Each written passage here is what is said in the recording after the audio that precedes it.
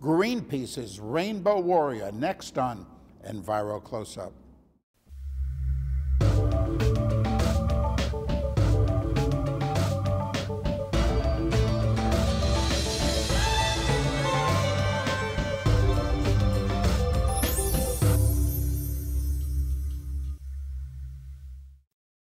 Welcome to Enviro Close Up. I'm Karl Grossman. The subject Greenpeace's Rainbow Warrior, a ship that sails the world highlighting environmental outrages. With us is Peter Wilcox, captain of the new and third Rainbow Warrior. Hello, Captain Wilcox. Hi, pleased to be here. Captain Wilcox, please discuss the mission of the Rainbow Warrior. Well, Greenpeace has a number of things it's, it works on, and a number of them are on the ocean, whether it goes from uh, dumping of nuclear waste at sea to the transporting of nuclear waste to the dumping of toxic waste on third world countries to saving the whales or seals or fisheries campaigns, climate change, all of these things at some time or another need a boat to help out with the, the issues. So the Rainbow Warrior does whatever job we need to do, whatever job Greenpeace is working on. And the ones I've just listed are just some of the ones we've worked on over the last 30 years. Now, you were on the original Rainbow Warrior when in 1985 it was bombed by French agents in New Zealand, uh, killing a Dutch photographer, Fernando Pereira. Please describe this episode. Well, 1985 was our year of protesting nuclear testing in the Pacific. Our first mission was in the Marshall Islands, where a group of islanders had been used basically as guinea pigs to test the results of nuclear fallout. What would happen on a controlled population?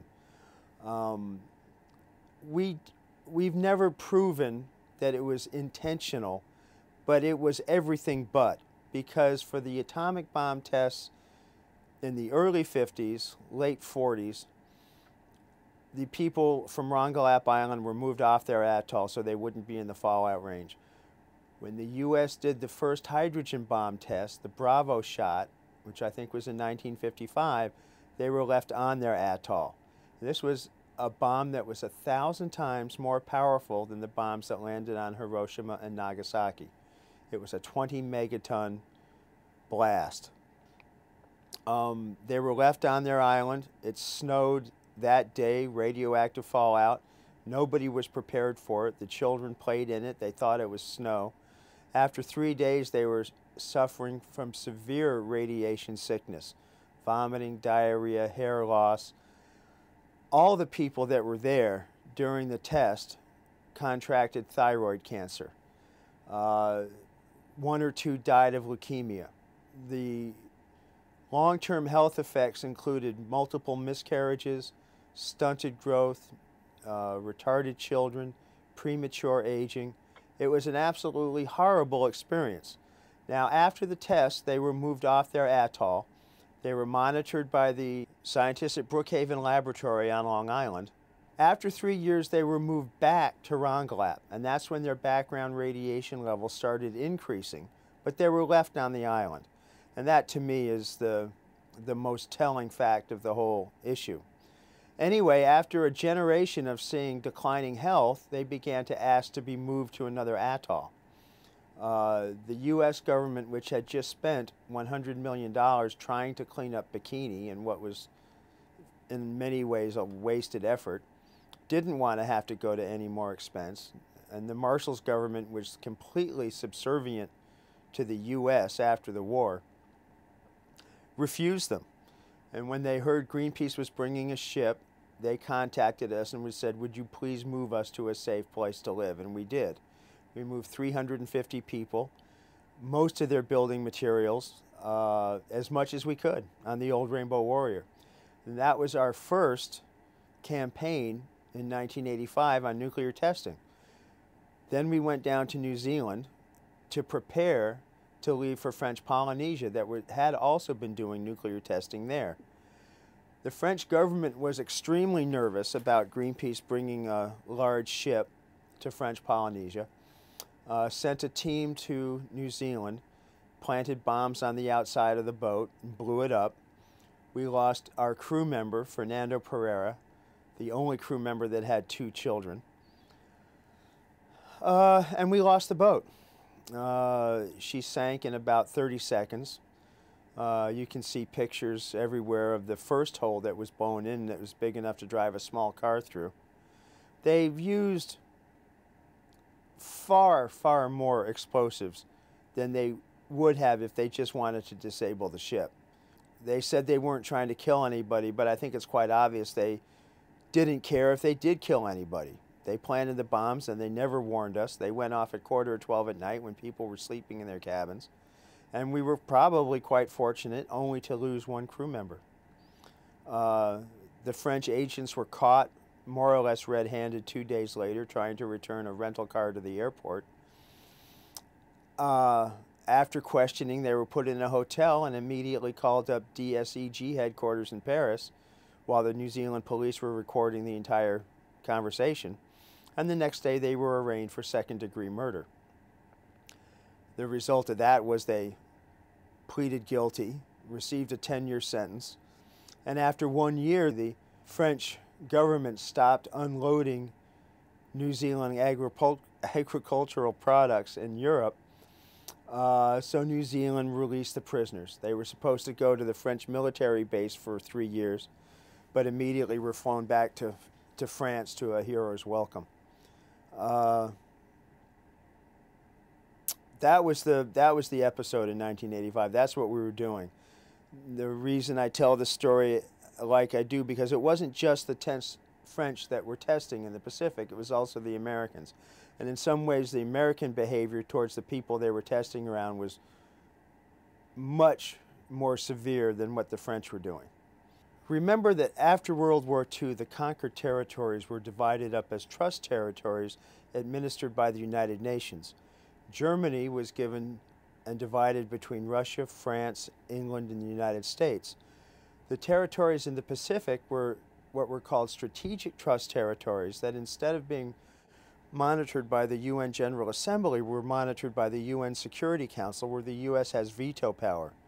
So instead of bringing the Marshall Islands into the 20th century and improving their their industry, improving their education system, protecting them, we pretty much use them as a testing ground for our nuclear weapons. I think it's an extremely shameful section of our history, which really goes on today because we're still doing our Star Wars testing there.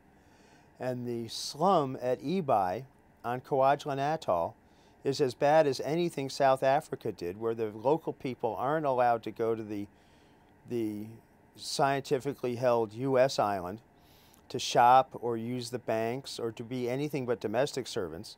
And the overcrowding on Ebeye is by far the worst in all the Pacific with the highest teenage suicide rate. That's really the result of our benevolence to the Marshall Islanders, and I think it's something that we have a lot to make up for. So that was our first mission in the Pacific in 1985. We never got to complete the second because the French were so nervous by that point that they blew the ship up what you're referring to in connection to Star Wars are the, the rockets launched with some regularity by the United States from the Vandenberg Air Force Base to go up into space and then fall on Kwajalein. Yes, that's absolutely correct. There's quite an infrastructure to support that testing site on Kwajalein.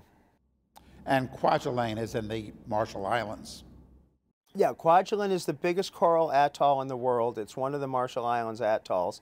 There is one island on Kwajalein that holds the U.S. scientific personnel, and a few miles away there's a much smaller island that holds, say, 10 times the number of Marshallese.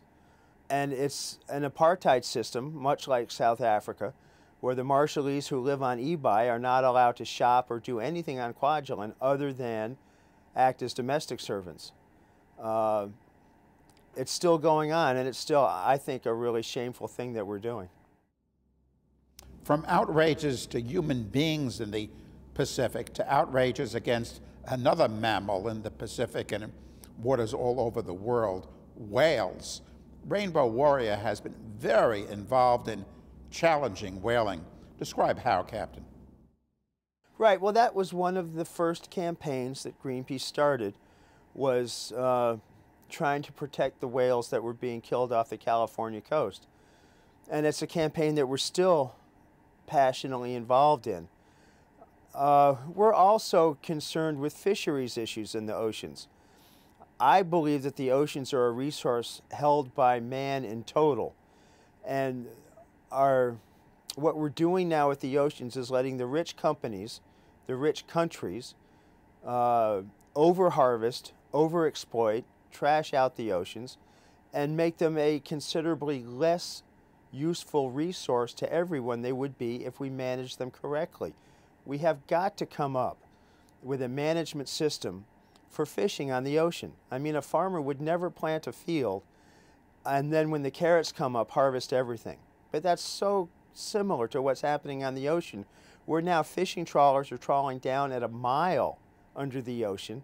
I was just in off the coast of Scotland and Ireland three months ago, uh, protesting fishing there.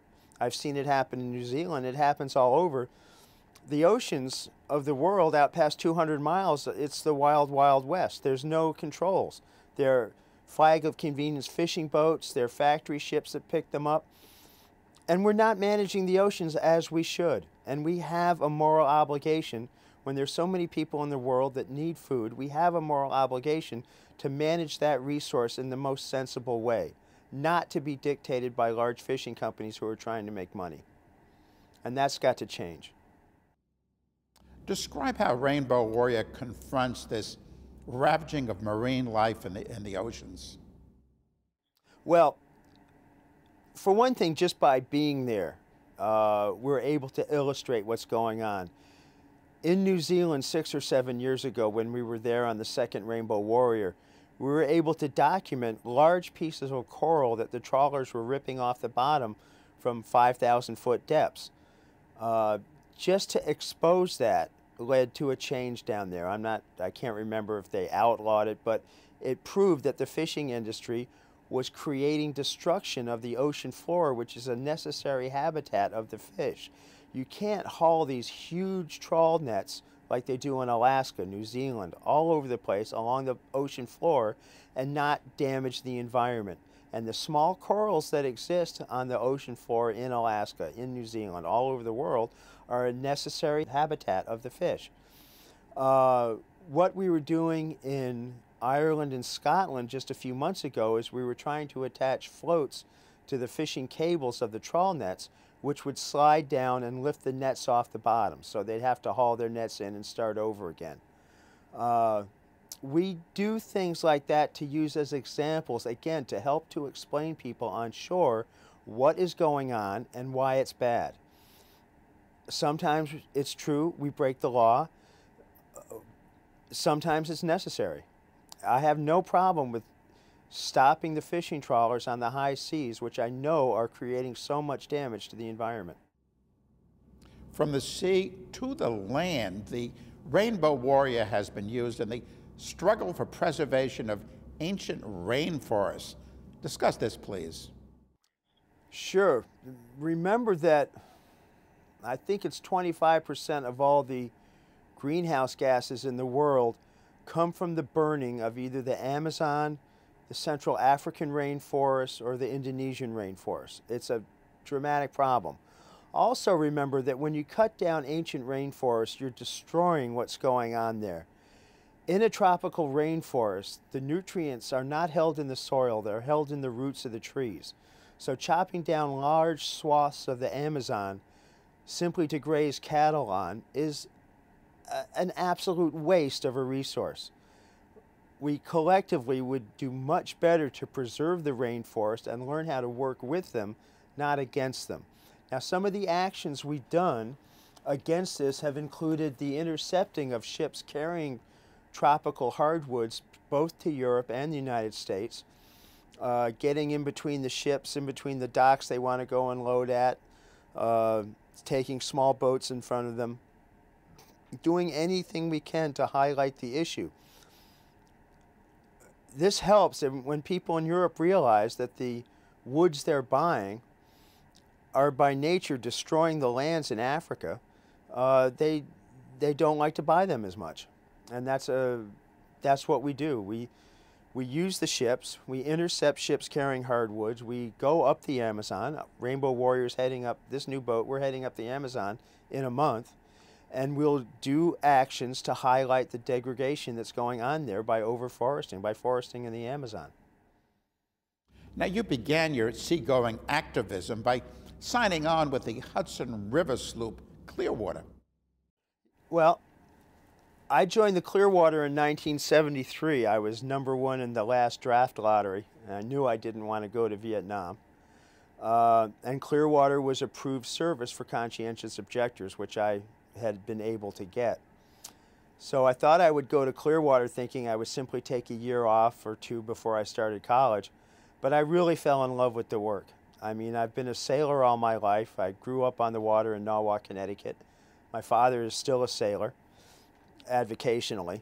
And I found that sailing, which I love to do, and sailing for a purpose was a very logical combination. And so I became captain of the Clearwater in 76 and stayed on it halfway through the 1980 season. And then when the Rainbow Warrior came over in 1981 and they advertised for crew, I joined right away. I've just, I mean, I feel really fortunate to have found something that uh, keeps my interest and something that I enjoy doing. It's just been a great combination for me. Um, and I've gotten a heck of an education uh, by participating in all the Clearwater and Greenpeace campaigns. In 1966, you were involved as a boy with your parents in a civil rights march.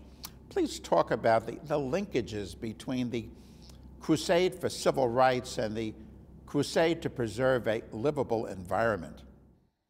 Well, first of all, in, in 1965, I was 12, and I had uh, a week off from school, and it was the Selma to Montgomery Civil Rights March.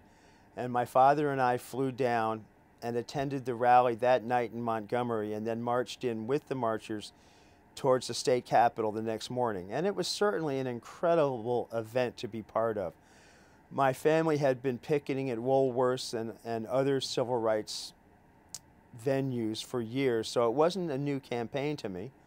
Um, but it was what was happening at the time. Um, and certainly it's an issue I still feel strongly about. Uh, whether it's South Africa or the Marshall Islands or any place where people aren't being treated fairly. Uh, that particular day, getting to do that, I think piqued my interest. Maybe I could see some, a see a path. Uh, it was an amazing experience. I mean, I still remember the, the optimism that was there that day, the sense that we could change things. Uh, at least that's what I remember being a 12 year old kid. Uh, it really struck me. I just, I remember it strongly. Um, and it was part of my life growing up. I mean, my family was always politically active. It was just the way we were.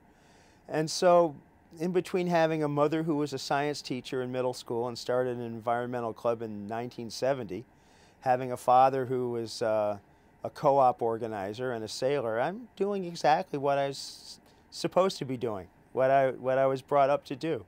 I'm just, again, I feel lucky that I was able to find something that fit me so well. Unlike the two earlier Rainbow Warriors, which were fashioned out of existing vessels, the new Rainbow Warrior has been built especially for Greenpeace.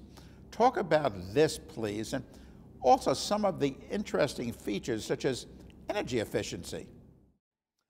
Well, that's correct. The new Rainbow Warrior, we don't really refer to it as number three. Uh, the new Rainbow Warrior is the first ship that we've been able to build from scratch. Uh, we rebuilt the second Rainbow Warrior extensively, but we still took an old hull and fixed it up. The big difference now is that this hull was designed to sail, and she's going to sail much, much better than the old boat ever did, and that's really quite exciting. The rig was designed and the boat was designed by a Dutch naval architect who, I, in my opinion, did a beautiful job. Uh, and we all got to add our two cents about what we felt was important and what wasn't. And this is what we've come up with. And it's, a, I think, a real testament to the organization that they took the financial leap and the the initiative to, to build something because it was not easy for us. Greenpeace accepts no government sponsorships, no corporate donations of any kind. It's all small private donation. And this was a big undertaking for us. And I think that uh, at the moment, we're still in the learning how to sail it phase of things. But when we get a handle on it, and we will, uh, it's going to be a remarkable tool. Uh, you mentioned uh, some of the energy saving features. One of the things we can do is, and something that's very useful in sailing boats, is if we're able to couple just a little bit of horsepower into the propeller, we get really dramatic gains in performance, much, much more so than just adding more horsepower. So what we're able to do is we have what we call an e-drive or an electric drive motor that's run off our generators hooked to the propeller shaft. And that enables us to put in efficiently one or 200 horsepower into the propeller, which when we're motor sailing gives us really, really uh, increased performance. Uh, that coupled with an underbody that was designed to sail with a keel and the modern rig, and we're it, she's going to do great things for us. Now, some people are very pessimistic about the future, considering what a mess has been made to so much of the world. You're in the middle of the fight, Captain. Are you optimistic or pessimistic? Well, I think there's very good reason to be pessimistic. But I have two children. I'm optimistic. I'm hopeful that we created the problems, we can solve them. And I think man's ability to solve problems is, is amazing when we put our mind to it. It's frustrating for me that after all these years about talking about climate change and global warming and the problems they create, that we still have our political leaders who think we can solve our energy problems by drilling for more oil.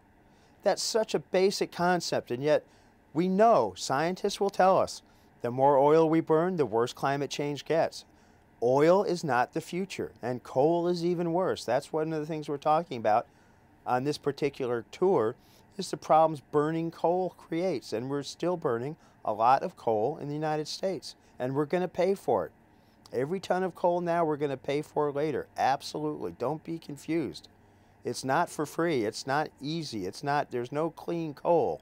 It creates problems. It creates asthma in children, respiratory problems in older people, not to mention the people that go down in the mines and, and risk their lives to dig it out. Uh, it's a product we have to get as far away from as quickly as we can.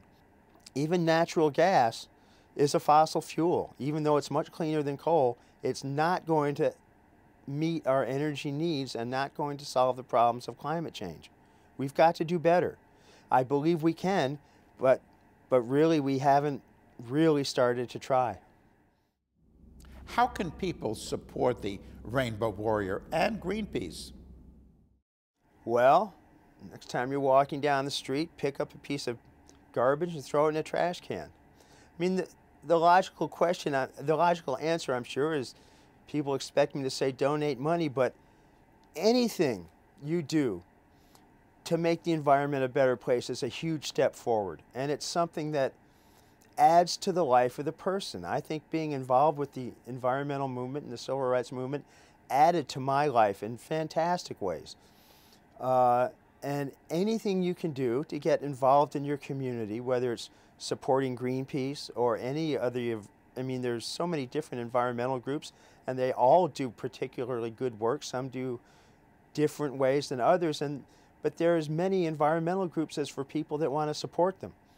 The best thing you can do, the best thing you can do as a person, I'm convinced, for yourself, is to get involved in any extent that you want to, whether it's writing your congressman, recycling a little bit more seriously, picking up trash on the way home, or working your whole life for, a, for an NGO which is what I'm doing, which I, which I love.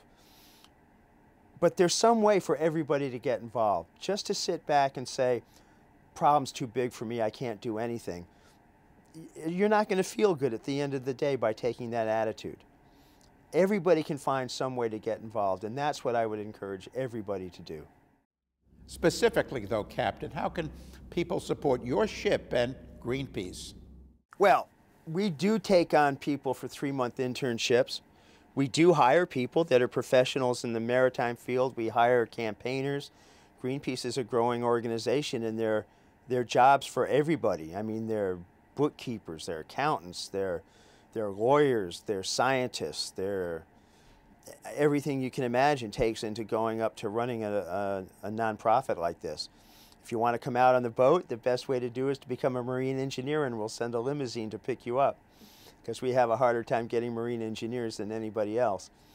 Uh, if you're a young college student, we take on people on three-month internships. You don't have to be a sailor. You just have to be healthy and, and willing to work. And uh, you'll get flown to wherever the boat is and get us $25 a week or something to cover your expenses while you're on the ship. And you'll see what we do. Uh, um, if you want to just learn about the Rainbow Warrior, you can go on the Greenpeace website and you can look at our internet webcam where wherever we are all over the whole world we take one picture a minute and you can see it on your computer screen. You can see what we're doing what's going on on the ship whether we're sailing or motoring whether we're tied to a dock whether we're going up the amazon or across the ocean. You can see what we're doing and lots of people like doing that and there are many ways for people to get involved. We have thousands of people who we call cyber warriors that get involved with doing computer actions and petitions and things like that. So there's tons of ways to get involved. Just log into the Greenpeace website. You'll learn all about it. You're away from your family on Rainbow Warrior for months at a time. Is that all right? It's tough. It's tough. Uh, I think I'm really lucky that uh, I've been a single parent for the last seven years, and I've spent a lot more time at home with my daughters than I would have otherwise. But uh, they support what I do, and they're, my younger daughter was here today doing tours. Uh, they like what I do. I think it's giving them a glimpse of how they can contribute to society and be involved. I think it's been a, a positive thing. So there have been times they've been missing me, there have been times I've been gone.